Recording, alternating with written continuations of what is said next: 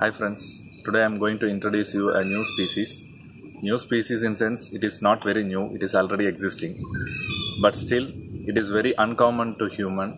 Uh, people may not be aware of this variety. Uh, long back even my friend circle had a doubt whether this species is a snake or what.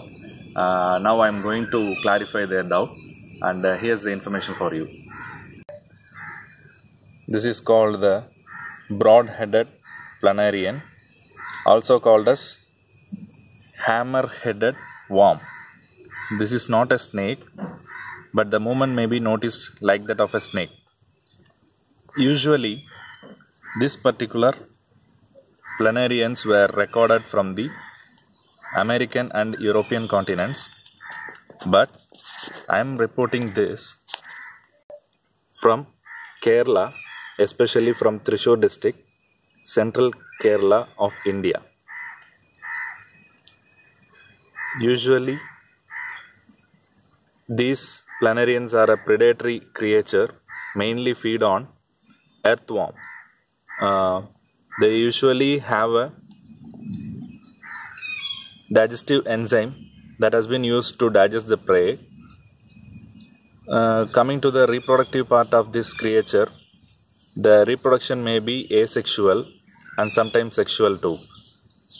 Uh, these are oviparous creature laying eggs.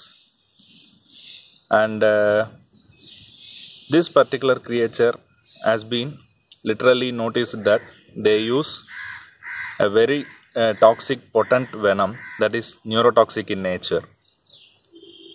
So many of us may not be aware about this creature but now i am documenting this.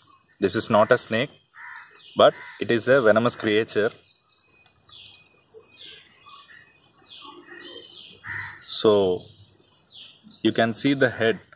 The eyes are not that clear but still the head is like a pickaxe. This is commonly called as bipalia. Bipalia means bi means two palia means like a spade. It is like a pickaxe kind of head projection. So that is how this gets this name.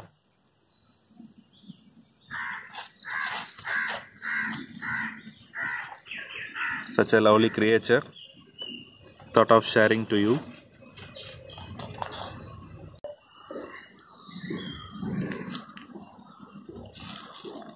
Such a lovely creature